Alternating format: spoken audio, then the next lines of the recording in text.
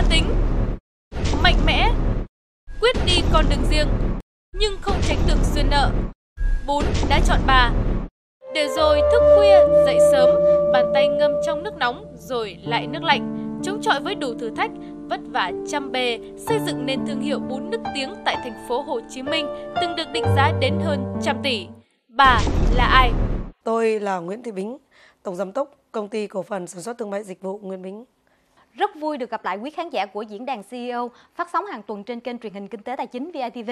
Thưa quý vị, bà chính là khách mời đặc biệt của diễn đàn CEO tuần này và ngay bây giờ xin mời quý vị cùng chúng tôi tìm hiểu câu chuyện cho chính bà kể. Trước tiên thì xin thay mặt những người làm chương trình, cảm ơn bà đã nhận lời chia sẻ câu chuyện của mình với chương trình. Thì thưa bà, như tôi được biết là để xây dựng được một cái thương hiệu như hiện nay thì bà đã trải qua rất là nhiều trăn trở. Bà có thể vui lòng chia sẻ lại là lúc đó bà đã xây dựng thương hiệu này như thế nào không ạ?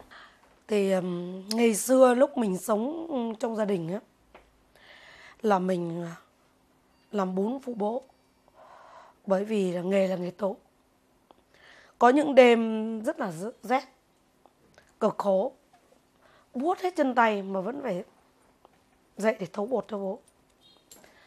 Rồi ờ, nhiều khi á, đứng sóc gạo á, bằng tay vậy nào. Đau gãy cái lưng à. Phải víu lên cái cây mới đứng lên được. Thì mình vô cùng mình sợ cái nghề này. Mình chỉ mơ ước học xong, mình đi khói, mình làm nghề gì, mình không làm nghề bún nữa. Mình học hết cấp 3 thì anh mình cũng giỏi lắm rồi đi chữa bệnh nó quen các bác ngoài đó. Thì các bác mới cho mình vào học trường nắp máy Long Thành Đồng Nai. Thì lúc đó là tôi ờ, đi học đại học rồi tôi ờ, đi làm cơ quan. Sau rồi đó thì tôi thấy rằng làm như vậy thì cuộc sống nó cũng không được tốt lắm. À, lương ba cọc ba đồng rồi um, tôi uh, bắt đầu nghĩ đến cái chuyện là bước ra kinh doanh yeah. Dạ. thì uh, bước ra kinh doanh lúc đấy thì tiền không có yeah. Dạ. tôi mượn tiền để tôi mua một cái sạp yeah. Dạ. để bán thịt heo yeah. đó thế thì bố nào lại đưa chị quyết định quay lại người lúc đó là sau khi tôi um, bán thịt heo rồi tôi cứ uh, mơ là sư về nhà khuyên tôi là, tu đi, đừng sát sinh nữa. Thế tôi mới điện thoại, tôi nói chuyện với bố tôi. Thì bố tôi bảo là, chứ con con, cái nghề nhà mình, đó lửa có tiền. Bố nuôi các con á, cũng nhờ cái nghề tố của của nhà mình, chứ bố đâu có chữ. Thôi không bán thịt heo nữa, làm nghề tố đi. Thế là tôi mới quyết định tôi quay về nghề tổ thì tiền bán thịt heo của tôi là tôi đã gom được có khoảng trên 100 triệu tiền vốn. Thì tôi sắm đồ nghề các cái tôi làm. Thì khi bắt đầu tôi về nhà để sắm đồ nghề vô á, là bố tôi sang bên vườn, bên trại á, là chặt mấy cây tre để vót những cái lan á, để về cho, vào cho tôi làm cái phên giải bún. Thì bố tôi mới ờ, chặt được ừ, ba cây tre về pha pha thanh ra rồi chưa vót. Thì bắt đầu là tự nhiên bố lâm bệnh đến lúc về sau anh mình là bác sĩ đó mới đưa ra coi thì là bố bị khối u là cái nhà sau có mấy tháng là bố mất à. Thế là mình bước về nghề tổ là bố mình mất không được ngày ngày ở với con gái. Thì sau khi đó là sắm đồ nghề các cái ở ngoài đó đủ rồi thì mình đi vào làm thì lúc ấy mình cũng còn nghèo. Thì ờ, bố bệnh hoạn ốm đau thì các anh chị lo chứ mình cũng không có khả năng lo được. Để con lúc đó cũng còn nhỏ mới có một tuổi. Thì rất là buồn cứ nghĩ đến thương lắm. Thế thì lúc đó bà quay lại nghề thì có mọi việc có thuận lợi không? Không có thuận lợi. Thì, thì lúc đó bắt đầu bước ra vất vả lắm. Chồng tôi không biết nghề có một mình tôi à? Bởi nghề tổ của tôi mà. Tôi đã làm mà tay chân tôi nó sưng to lắm. Bắt đầu mình làm theo nghề tổ của mình, đi chào mối, người ta nhận mối, người ta nhận lấy hàng. Nhưng lấy xong họ không bán á. Rồi họ báo là bún mình đen. Họ trả về. Bởi vì lúc đó ở cái đất Sài Gòn này là cái vấn đề là bao tiêu sản phẩm. Có coi nhà nếu như bán không được thì trả về, bán được trả về ừ. mà bán không được trả về là chết đời rồi. Thế là mình cứ thế thôi, là mình đầu tiền mình đội lón ra đi. Sát nghiệp. Lúc mà còn có 6 triệu trong tay, thì chồng mình bảo là mình phá sản. Thì mình bảo giang cơ, sự nghiệp này tôi làm lên tôi phá. Bởi vì mình bán thịt heo, là mình cũng mua được đất, làm được nhà, rồi có vốn làm bún. Thế thì à, sau hồi đó thì cái nhà giang sơn sự nghiệp tôi làm ra tôi phá miễn tôi không để anh với con chứ đói được rồi. Nhưng mà lúc đó bản thân bà thì bà nghĩ gì à không mình cũng lạc quan lắm. Mình uh, chấp nhận rằng uh, họ không bán thì mình làm mình tự bán. Thế bắt đầu mới đi kiếm chỗ thuê để bán. Nhưng mà nhưng mà cái giai đoạn làm lại đó thì bà có khắc được phục được cái việc mà bún của mình làm đen không? Không mình vẫn để vậy mình bán nhưng mà lúc đó mình lại không giao cho khách nữa. Mà mình thuê chỗ mình uh, tự bán luôn tự làm tự bán luôn. Tôi vừa bán tôi vừa tặng. Tôi vừa bán tôi vừa cho.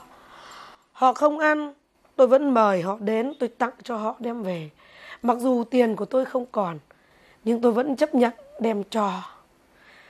Nhưng sau rồi đó tôi bán mọi nơi mọi chỗ không bán nổi vì sản phẩm của tôi ngon sau rồi đó là tiếng đồn dần đồn xa cứ nổi dần nổi dần lên.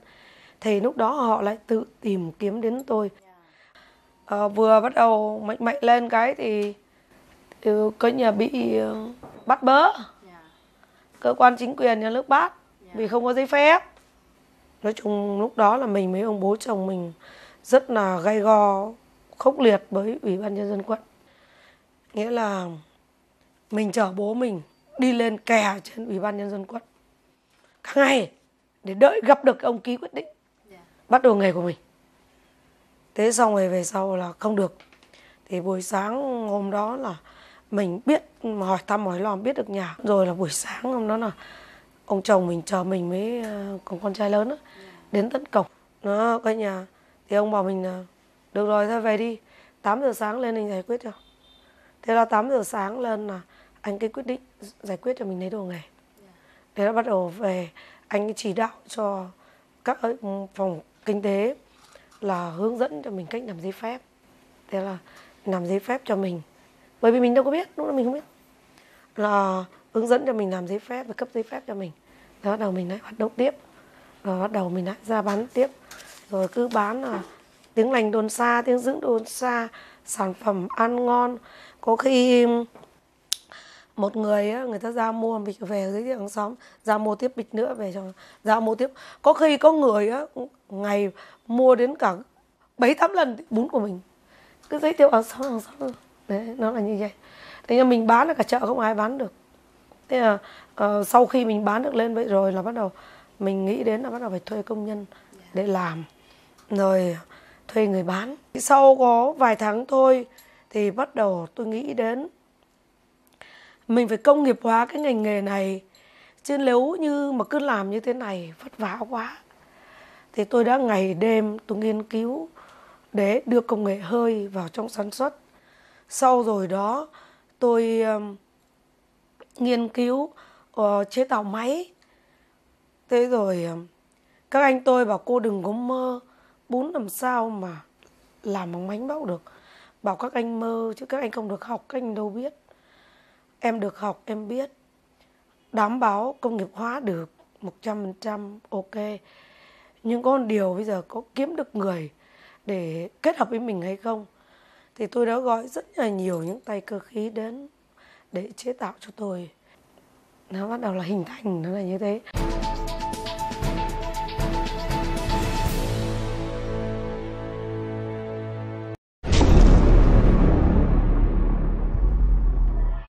nào thì bà chịu áp lực ờ, về tinh thần nhất trong những lần mà thất bại đó. Thật sự ra mà nói là những uh, áp lực tinh thần thì uh, chỉ có lúc mà khi mà bị cơ quan chức năng bắt. Nghĩa là thất bại của lần thứ hai. Ừ, đó. Coi như khi thì, um, coi như khách hàng nó chê bún rồi. Đấy rồi ờ, đến lần tiếp tới thì bị ừ, bắt bớ đồ nghề. Nói chung là lúc đó gia đình cũng rơi vào cảnh khốn khó. Là lúc đó là ông chồng thấy hoạt động ổn định rồi mình bắt ông chồng nghỉ không đi chạy xe nữa. Ở nhà để phụ giao hàng à, chạy hàng hóa cho mình. Bởi vì là mình làm ra thì phải có người bưng bê phụ. Đấy, lúc đó là tự làm tự bán đó thế thì, thì lại bị như vậy? Thế như hai vợ chồng rơi cảnh thất nghiệp rồi bố chồng thì đang ở với mình. Rồi con thì mới được có một tuổi. Là lúc đó là mình phải nuôi bố chồng rồi con còn bé. Chồng thì vừa nghỉ việc. Là lúc đó căng thẳng dữ lắm. Sợ là coi như là coi như váy thì chào mối mang lại không biết sao như thế nào. Rồi bán hàng ra sao rồi lấy gì mà ăn lấy gì mà sống cảm gia đình nó lúc đó là rơi vào cảnh. Lúc đó thì vay mượn đâu thì cũng không được. Ờ, cũng không ai cấp vốn cho mình hết. Về sau này á, căng thẳng, vất vả. Về kinh tế nó nhiều. Nhưng mà bà gạo, bà biết mình, bà sẵn sàng cấp vốn để mình làm. Còn lúc đó mình mới, ai ta cho mình lỡ, ai ra cấp vốn cho mình. Lúc đó là cái tinh thần nó nó rất là lớn. Thì lúc đó bà cảm thấy gì? Trong lòng có cảm thấy mệt mỏi lắm không? Lúc đó là mệt mỏi tinh thần lắm á. Và gặp nhiều áp lực như vậy thì có bao giờ bà nghĩ đến việc muốn từ bỏ không? Không bao giờ. Nói chung là bản năng con người của Nguyễn Bính thì từ xưa đến giờ nó luôn cứng rắn và cương quyết mọi tình huống. Và không buồn phiền khi thất bại. Nhưng có một lần coi nhà thất bại khủng khiếp vào năm 2005 lúc đó là mình đã có mấy chục công nhân rồi. Đó. Thì uh, thành lập công ty rồi. Đang làm rất là mạnh. Bị uh, trận động đất. Bởi vì lúc đó đâu có nước máy đâu. Làm nước giếng không mà bây giờ thì có nước máy rồi. Làm bằng nước máy. Còn lúc đó làm nước giếng trời ơi bún cứ ra là mùi hôi mùi đắng. Bún ra mùi hôi mùi đắng đi phân tích thí nghiệm đâu phải như bây giờ đâu. À, rất là lâu một tháng mới có kết quả. Phân tích ra mới biết rằng độ pH rất là cao. Nó lên thời điểm đó nó đã lên tới 27 mà trung bình độ pH chỉ được ở 7 độ thôi mà nó lên tới 27 thế thì vất vả quá đi coi nhà là phải nuôi công nhân. Đầu tiên là mình cứ nghĩ là do lính tráng làm ấu đó, lên nó bị hư hỏng bỏ hết. Lớp bột gạo đó. Đích thân mình vào làm. Cùng lính. Sạch sẽ kỹ càng nhưng vẫn bị thế. Thế là tôi chỉ tốt ngừng. Lúc đó là âm ngân hàng là ba trăm mấy chục triệu. Bà hàng gạo là phải ờ, cấp vốn để cho làm lại. Đó, nói cho ngay như vậy. Thế nhưng mà sau rồi đó thì khi phân tích thí nghiệm ra rồi là mình biết là do bị nguồn nước thế là lúc đó là đâu có phải làm được ngay đâu hoàn bốn lần được cái giếng. Như vậy là từ cái thời điểm mà bún bị đắng đến cái thời điểm mà mình giải quyết được đó thì nó kéo dài bao lâu ạ? Khoảng hai tháng. Hai tháng. Hai tháng. Nó mới ổn định lại. Thế lúc đó mình phải nuôi công nhân hoàn toàn vẫn phải trả lương họ bình thường mặc dù họ ăn chơi không. Lên là mới phải lợ lên tới mấy trăm triệu á. Đó là năm 2005 đó. Đấy tức là lúc đó là coi như là trắng tay mà âm không còn một cái gì nữa. Như vậy cái lúc đó áp lực của bà đang chịu nặng nhất là kinh tế? Là áp lực lằng kinh tế bởi vì mình không thể đuổi công nhân mình được mình phải đào tạo họ mà. Mình phải lo lắng mà mình phải tìm phương án giải quyết. Thế xong bắt đầu là vào hoạt động ổn định rồi mối mang trở lại rồi. Sau đó là mình bắt đầu cho giải tờ rơi rồi mình quảng cáo rồi mình uh, đi cho thuê nhân viên đi chào mối trở lại bình thường rồi ấy, thì, thì uh, bắt đầu mình đã bị uh, xuất huyết bao tử. Mà coi như là suýt chết. À, coi như tức là tim ngừng đập rồi phải hô hấp nhân đạo đó. Để coi như xong mình lại sống lại. Đấy mà đến 30 Tết mà chân tay mình vẫn còn rung rung rung rung này đấy. Có đứa thì nó bảo là bà bính sắp chết rồi. Bây giờ ừ, mạnh đứa nào đứa tự lo thân đi. Thì cô bính nằm, cô bính nói là yên tâm đi. Cô bính còn nằm, cô bính còn nói được là cô bính còn chỉ đạo được. Cô bính không để các cháu chết. Chỉ khi nào cô bính chết thật rồi, thì các cháu mới phải nọ à các cháu cứ yên tâm đi thế tụi nó cũng rất là tin tưởng Thế nhưng không dừng lại ở thành công ban đầu mà lại đưa ra một quyết định lập dị khác ở thời điểm này, đó là xây dựng thương hiệu cho bún tươi. Đây là điều chưa từng có trên thị trường nên nhiều người giễu cợt, bún mà cũng làm nên thương hiệu. Thế nhưng không nản lòng và nghi ngờ quyết định của bản thân, bà quyết làm cho bằng được. Chính quyết định khác người này đã đưa bà trở thành người dẫn đầu và sở hữu thương hiệu bún tươi đầu tiên của Việt Nam.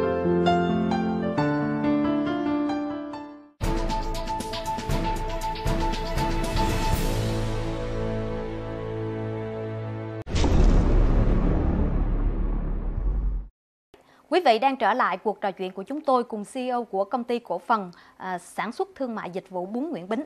Bà đã bắt đầu à, cái ý niệm xây dựng một cái thương hiệu bún thì bắt đầu từ khi nào ạ? À? Thật sự ra mà nói thì um, ngay những bước ban đầu thì um, tôi đã định hướng riêng cho chính mình. Tôi đã tự đặt tên cho sản phẩm và treo bảng giá cho sản phẩm. Quá trình xây dựng thương hiệu vô cùng gian nan và vất vả. Khi bắt đầu cái logo thương hiệu của mình gây dựng xong, mình đi ra thị trường nó cầm men hết, nó không chịu. Sao vậy ạ? Nó bảo không bán hàng độc quyền, nó không chịu bán. Có nghĩa là ban đầu tiên đem ra chợ người ta không nhận đóng gói. Đúng, họ không bán bún đóng gói. Nhưng mà lúc đó thì gia đình mình có phản ứng như thế nào? Chồng tôi cũng nói bảo là người ta làm sao mình làm vậy? Mắc mớ gì mà phải đi làm như thế? Nhiều báo chí họ đã viết về tôi là trứng trọi đá. Nhưng tôi vẫn trọi. Đến tại thời điểm này tôi vẫn đang trọi. Mà đóng gói xong rồi thì bán cái giá được nó cao hơn không những bước ban đầu tiên thì đâu có cao hơn thì mình nói đó. Bún rồi mình làm cân ít lại bỏ vài ký bỏ vô thì cũng bán bằng bún rồi tôi phải chấp nhận lỗ chứ. Lỗ công lỗ bao bì mình vẫn chấp nhận muốn xâm nhập thị trường. Là tất cả những người họ đi theo sau bây giờ họ sung sướng lắm. Họ không đi đầu họ không bị thiệt hại kinh tế. Họ tốt hơn. Nhưng mà tại sao lúc đó bà lại nghĩ như thế? Tại sao bà không bán như những người khác đã bán? Năm 1999 ngõ tre bún của tôi là đen tôi lui. Trong khi đó bún của họ đưa ra ngoài ánh nắng mặt trời nó nong nanh tôi nói rằng, tôi làm kỹ gấp mấy bún tôi cũng không thể trắng sáng đẹp như vậy được. Bắt đầu, tôi đi tìm hiểu về những nguồn hóa chất bún và phở đang nhiễm axit arsenic mà hóa chất vô cùng độc hại. Về lâu dài là người dân gánh chịu. Tôi muốn thay đổi rất nhiều về vấn đề thực phẩm cho người tiêu dùng. Tôi quyết định tôi phải làm dù khó khăn vất vả đến mấy tôi phải làm. Yeah. Dạ. nhưng mà ừ, trong cái quá trình đầu tiên khi mà đưa bún đóng gói ra ngoài thị trường và thị trường hầu như đối tác không chấp nhận như vậy bà không không nghĩ đến việc là thôi bán bún như bình thường bà vẫn có thể bán được tốt mà. Thôi đâu được mình phải chấp nhận. Chấp nhận để có nhà đánh thị trường để cho người tiêu dùng phải được điều tốt. Sau đó thì bà đã giải quyết việc này như thế nào? Đến lúc mình phải nằm thư xin lỗi khách hàng mình không để địa chỉ không để điện thoại. In mỗi cái logo thôi. Yeah. thời đó còn đóng gói tay. Chứ mà tìm cái thợ mà đóng gói bún ờ, máy đóng gói khó lắm bởi bún nó rất là dính. Thế, bởi vì mình làm không có hóa chất thì cái cái cái độ dính của nó còn cao hơn nữa. Dính lắm. Khó khăn lắm. Thì bắt đầu là mình mới ờ, đóng gói tay ừ, để ví dụ như người ta lấy giỏ 15 20 mình bảo các cháu á các cháu chỉ cân cho cô 18 kg thôi. 2 kg bỏ bún đóng gói vào. Mai ai có chửi thì cô nói cho. Cô nói xong bắt đầu có trời bảo à, tôi xin lỗi có lẽ là các cháu ờ, nó cân bị thiếu hàng nó bỏ miếng vào.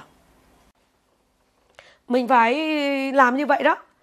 Tức là cứ lay lay mình mai họ chửi thì mai mai ngưng, mốt ngưng ngưng hai ba ngày sau, lại cho. Cứ chè một ký, hai ký, nhảy đó.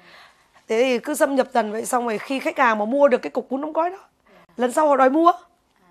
Thế buộc khách hàng phải lấy. Thế khi bắt đầu xâm nhập bún đóng gói được vào thị trường rồi, bắt đầu có rồi, bắt đầu mình cho làm lại trục in, là mình in địa chỉ điện thoại vào. Như vậy có nghĩa là bà đã bắt đầu xây dựng thương hiệu bún từ năm 2006 đến năm 2008 á thì mới được thị trường chấp nhận. nói chung là lúc trước á, là những cái bao bì ờ, đi ra thị trường không địa chỉ không điện thoại thì người ta đã hình thái trong đầu người ta đã biết rồi. Nhưng mà người ta không biết là ở đâu để người ta tìm. Đấy. Thế đến lúc à, khi mà bắt đầu mình xâm nhập thị trường mạnh lên là bắt đầu bằng bún đóng gói đó thì khi ờ, báo chí lên tiếng rồi năm 2006 2007 là báo chí lên tiếng rồi với cái ờ, xâm nhập ừ, thị trường như vậy thì bắt đầu là thương hiệu của mình tương đối mạnh Cái thương hiệu bún đó thì à, được định nó được định giá một đến trăm tỷ thì từ khi nào ạ? 24 25 gì đó.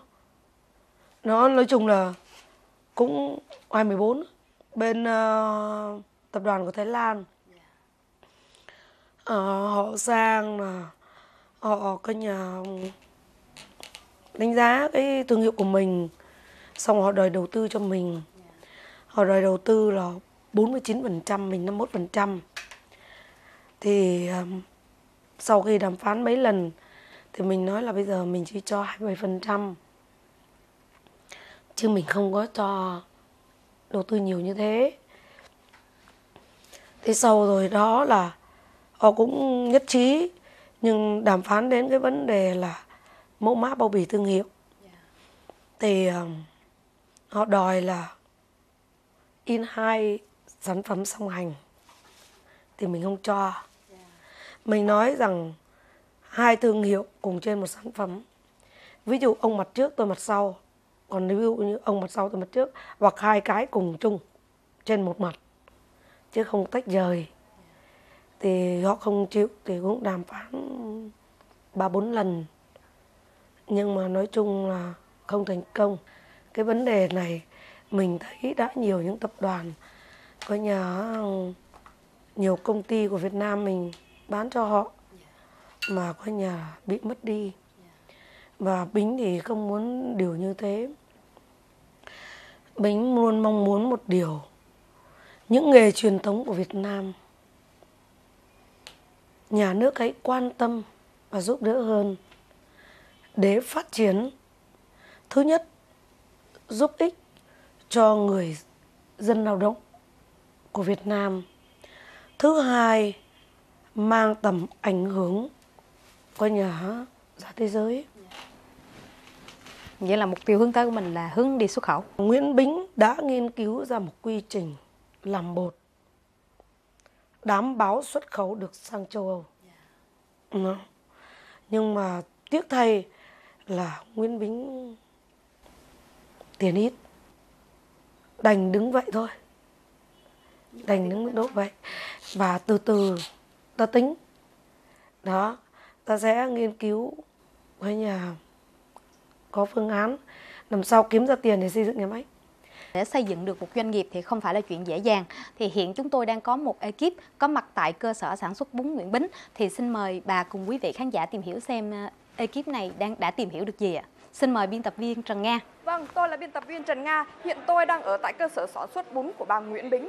À, xin mời quý vị cùng chúng tôi gặp gỡ các nhân vật liên quan ạ. Dạ, xin chào anh ạ. Chào chị ạ. Dạ. Câu đầu tiên cho em hỏi là anh làm việc ở cơ sở sản xuất bún Nguyễn Bính bao lâu rồi ạ? Dạ em làm đây là trên 10 năm rồi chị ạ. Vậy thì trong 10 năm làm việc tại ờ, Nguyễn Bính thì anh có trải qua những cái giai đoạn khó khăn cùng cô không ạ? Có cái thời thì ờ, trước kia thì cô làm bên ờ, gò giáp bên này thì ờ, xưởng nó còn nhỏ nên là hàng hóa là cũng chưa có nhiều đó nên là cũng cổ thì à, cô cũng động viên gắng cố gắng đi làm thì à, cô à, có cơm thì mình cũng có cháu Ờ, Trong 10 năm làm việc với cô Bính thì anh có cảm nhận gì về cô ạ? cô người sống rất là có tâm Vâng, xin cảm ơn anh Dương ạ. À, chào bạn ạ. Dạ em chào chị. Bạn làm việc ở công ty Nguyễn Bính bao lâu rồi ạ? Dạ em làm ở đây đã là 3 năm rồi ạ. Trong 3 năm làm việc ở đây thì mình có trải qua công ty có có khó khăn gì không để để cùng đồng hành cùng cô không ạ? À, có chứ chị. À, ờ, có một thời gian thì ờ, công ty gặp vấn- một một số vấn đề trục trặc thì ờ, mọi người ai nấy cũng ờ, gọi là lo lắng ấy ạ. À, trong 3 năm làm việc ở đây thì bạn cảm nhận như thế nào về cô Bính ạ? Ừm, Với em thì cô ấy rất tài giỏi, cô ấy đã à, nghĩ ra những cái phương án mà gọi là à, để giúp cho cái à, công ty của mình à, có một hướng phát triển nó càng ngày đi cao hơn. À, ngoài về công việc thì à, cô là một người quyết đoán ra thì à, à, cô còn là một người à, rất là quan tâm và à, luôn luôn à, hỏi thăm à, à, cuộc sống hàng ngày của nhân viên như thế nào. Xin cảm ơn Vân. Dạ. Dạ, chào anh ạ. Dạ, À, xin hỏi anh làm việc ở công ty Nguyễn Bính bao lâu rồi ạ? làm việc ở đây khoảng 3 năm rồi. Ờ, trong quá trình 3 năm làm việc ở công ty Nguyệt Bính thì anh cảm nhận như thế nào về cô Bính ạ? Mình làm việc qua là mình mới hiểu. Tại vì cô Bính là người con người rất chân và thật. Cho dù cô Bính không lời, cô Bính vẫn muốn làm cho thị trường phát triển. Cô Bính là rất giỏi, tài. Mình rất nể cô Bính, mình rất phục. Cảm ơn biên tập viên Trần Nga và các khách mời. Thưa bà, từ thời điểm thành lập doanh nghiệp tới bây giờ thì có thể nói rằng bà trải qua rất là nhiều khó khăn. Đến hiện tại thì bà có thỏa mãn với những gì mình đạt được hay không? thật sự ra mà nói thì người ta nói là chả biết như thế nào để cho nó vừa với con người chỉ biết một điều là mình làm được tới đâu thì mình cố gắng tới đó thôi mặc dù á mình nhiều người người ta cho mình là khổ ờ, làm quá trời đơn ăn thì chả được lo làm không? Nhưng mình lại thấy vui. Mình lại thấy vui. Mình thấy đó là một niềm vui hạnh phúc của mình. Đấy. nên là nói một câu thỏa mãn thì không thể nào mà nói cho nó hết được ý. Chỉ một điều khá lăng tới đầu thì cứ hớt nòng tới đó. Và đến lúc nào đầu gối quá tai lúc nó lụng khụ lụng khụ rồi không làm được nữa đành chịu thôi Để mà xây dựng được một doanh nghiệp hoạt động chứ chưa nói đến việc hoạt động cách nổi tiếng à, ở trong thời đại kinh tế thị trường như thế này thì đúng là không dễ dàng. Đặc biệt bà lại là một người phụ nữ thì tôi rất nể phục những người phụ nữ như bà. Xin thay mặt những người làm chương trình à, chúc bà sức khỏe, à, nghị lực để đạt được nhiều thành công hơn nữa trong thời gian tới. vâng rất cảm ơn bạn à, cảm ơn tất cả các quý vị khán giả Đến đây chương trình diễn đàn CEO xin được khép lại. Cảm ơn quý vị đã quan tâm theo dõi và xin hẹn gặp lại trong các chương trình sau.